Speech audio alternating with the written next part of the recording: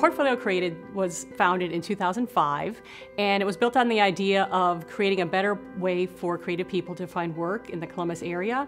So, with our art degrees, and I should mention that Kristen Harris is my business partner, and we decided to start this business with just our knowledge of advertising and marketing and not any staffing. We decided to create a staffing company, which makes perfect sense. When you're a freelancer, um, you love doing the work. You don't love always getting that next job. And sometimes you'd be really passionate about a project, you get done, and then you would have nothing.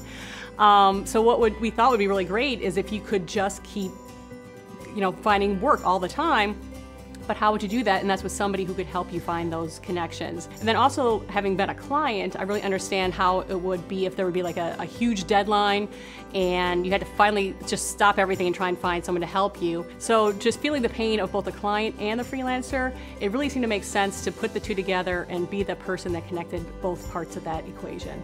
It's very daunting um, to just suddenly say that I am a business owner when you've never been a business owner before, or sometimes some of the big decisions come to your desk and they stop there. And it's really okay. It gets things get figured out, problems get solved, and actually it's groups like NAWBO that sometimes can help out in that sort of thing. I know when we started our business, we had a lot of issues that would come up, and they felt very heavy, very bone crushing.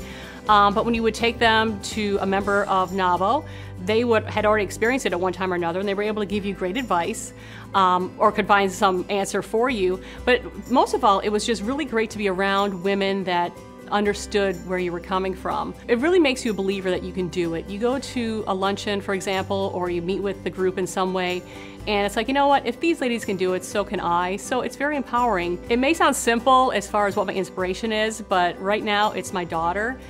And she's the one that really drives me to make everything a little bit better for the world that she's in.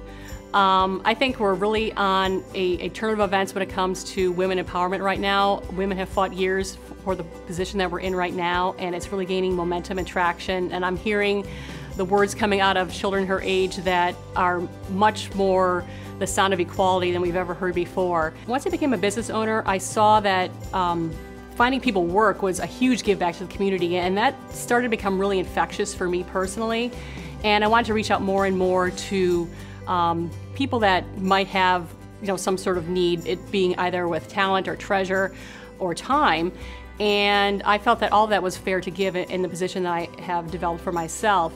Um, within our company, we have three different initiatives. One is the Green Committee, and that is to help the environment. We also have our Health and um, Wellness Group, and that's to help the people not only within our walls, but to the town that we place that might have questions as far as how they can better their health.